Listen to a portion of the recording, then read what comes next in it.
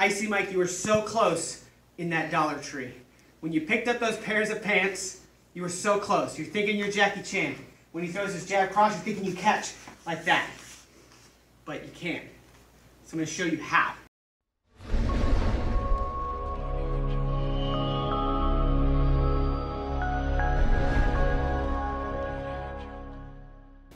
All right, so now we're gonna start here. The key is if he throws jab cross and I try to catch it with the middle, chances are I'm never gonna be able to do that, right? Just jab cross normally, pull back, yeah. It's like hard for me to catch that. A lot of times that's all I can get, I can block. But if I think of it in this instance, or if I am in here, where I have it wrapped around a hand and I'm holding with a hand, I can use it like I'm a boxer. When he jabs, I parry, and then I can parry on the outside. That allows me to loop. Once I have that loop, I can basically apply the pressure down here, and he'll fall at that particular point.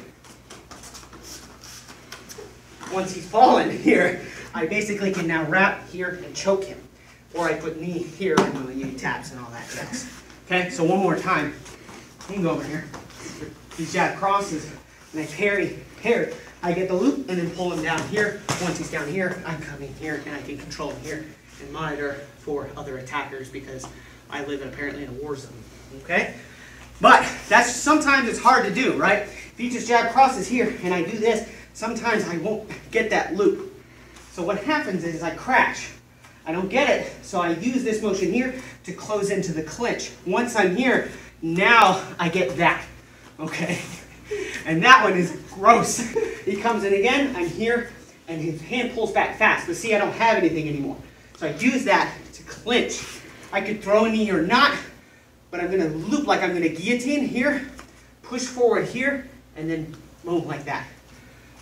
So that's how that works. I'm holding it like this. But, you know, not everyone has a sarong.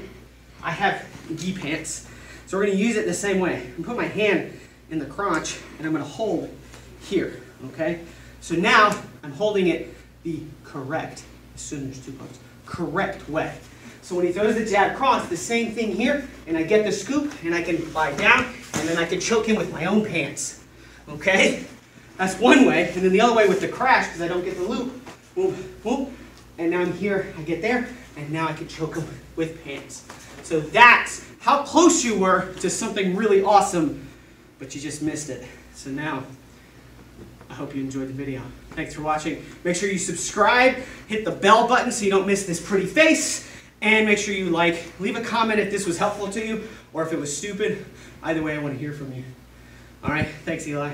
Yes, sir. All right, thanks, guys. Oh, I get that. Okay. And that one is gross. okay? It wasn't. So.